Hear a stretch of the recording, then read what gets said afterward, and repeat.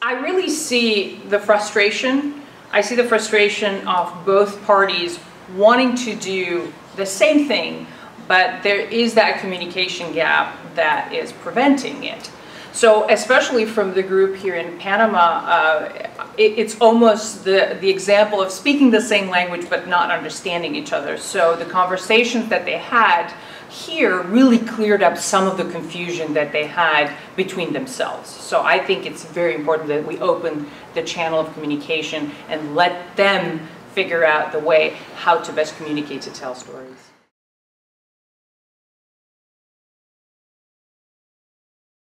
I think it's um, really beneficial to have different industries and departments brought together, especially journalists and scientists because technology is really moving forward fast and we need communication in order to convey the message to the general public.